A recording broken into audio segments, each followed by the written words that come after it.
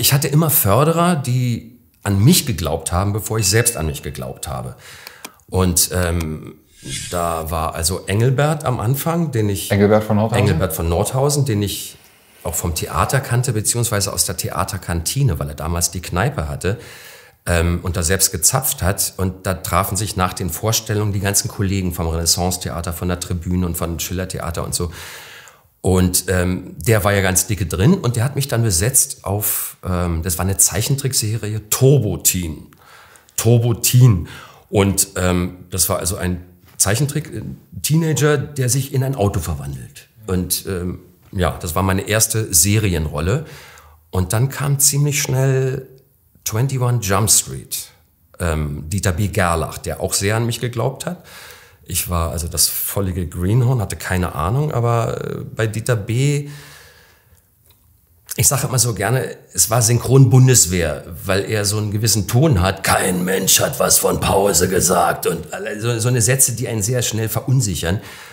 Aber man hat es dann gelernt, über die Jahre damit umzugehen. Was machst du lieber, Synchron oder Theater? Wenn du dich jetzt nochmal entscheiden müsstest, ähm, was machst du lieber? Also früher hätte ich gesagt Theater, äh, sofort, jederzeit. Hau mir ab mit Synchron. Genau. Äh, aber selbst als ich Synchron gemacht hätte, hätte ich immer noch gesagt, lieber Theater und ich möchte gerne wieder Theater spielen. Aber mittlerweile habe ich ein ganz angenehmes Standing im Synchron. Also krieg sehr schöne Rollen, also Rollen, die ich äh, als Schauspieler nie spielen dürfte oder könnte oder nicht mal im Ansatz in Frage kommen würde. Und ich habe da so meine Nische mittlerweile im Synchron, wo ich sehr glücklich bin und eigentlich mittlerweile lieber Synchron mache. Ähm, ich wollte ja eigentlich ursprünglich dann auch Regisseur werden, aber ich habe gemerkt, wie anstrengend das ist. Erstens, weil ich keine Bücher schreiben wollte und es dankt ja keiner, weil ich bin so ein Fummelbruder, der dann auch immer die kleine Pfeile ansetzt. Ja. Und, äh, mach mal noch eine. Ja, hör noch mal rein. Und, ja. und es dauert dann und dauert. Und ich habe irgendwann gemerkt, es macht dann doch mehr Spaß zu spielen, zu sprechen und dann zu sagen, okay, tschüss, der Job ist erledigt und Feierabend. Mittlerweile hast du den Affleck ja in über 30 Filmen gesprochen. Was macht sein Spiel aus? Also sagen wir mal so. Äh, ich mag Ben Affleck sehr gerne, so als Schauspieler. Aber er hatte natürlich das Image früher als schlechter Schauspieler. Ähm, auch in Amerika war das ja immer, wenn man gesagt hat, ein schlechter Be Schauspieler war immer das Beispiel Ben Affleck, weil er halt schön war und nicht so, so gespielt hat wie Matt Damon, der viel mehr Spieler war. Aber ähm, der hat dann irgendwann am Anfang diese Schönling-Rollen gemacht und dann hat er aber in den Rollen so angefangen, dass er das aufs Korn genommen hat, sein Schönheitsimage und alles.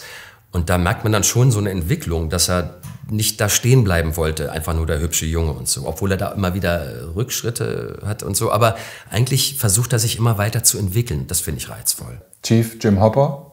David Harbour. David Harbour in Stranger Things. Ja. Wie findest du die Kombination aus Sci-Fi und 80er Jahre Romantik? Wie findest du die Serie? Also erstmal finde ich diesen David Harbour super. Ist einer meiner Lieblinge von denen, die ich spreche ähm, weil der auch so was Unberechenbares hat. Der ist immer irgendwie ein bisschen anders. Und ähm, ich habe den vorher schon in Filmen und in Serien gesprochen und dann kam plötzlich Stranger Things und es wird ja alles in Hamburg aufgenommen, die komplette Serie, und ich bin der einzige Berliner da drin und wusste erstmal gar nicht, was das ist und so. Und finde diese 80er-Ästhetik natürlich super, weil es sieht aus wie in alten Spielberg-Filmen, so wie bei E.T. und so, und man ist selbst daran erinnert, so an die 80er. Und ähm, ja, cool, cool, einfach cool. Der spielt manchmal, dass du auch sagst, äh, kannst, wie willst du das synchronisieren? Und mal ist er genau meine Stimmlage, mal nimmt er 20 Kilo zu und dann musst du viel tiefer rangehen. Und da hatte ich schon Angst, wenn er jetzt so dick bleibt mit Vollbart, äh, verliere ich den. Stresst das deine Stimme, wenn du Nö. so drücken musst? Oder ist das Nö, Nö ich versuche ja nicht zu drücken, sondern einfach in eine, eine tiefere zu kommen irgendwie.